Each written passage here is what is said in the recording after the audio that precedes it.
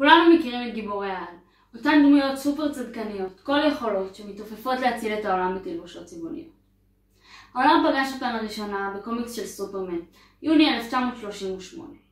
אבל בואו נבין רגע מה המשמעות שלהם. במחקר שלי גיליתי שגיבורי העל לא רק משקפים דעת קהל, הם מעצבים אותה.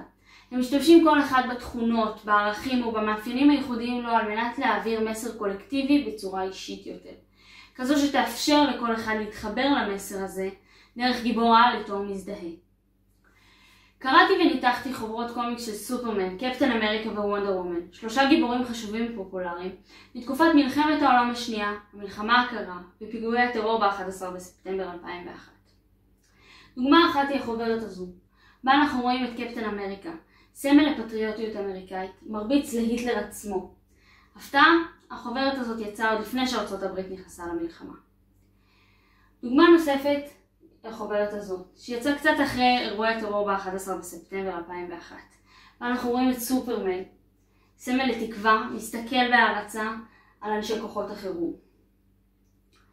גם היום, בתקופת הקורונה, אנחנו רואים שימוש בגיבורי העל. החוברת הזו מספרת על איך גיבורי העל מעבירים את הסגר, איך הם עובדים מהבית.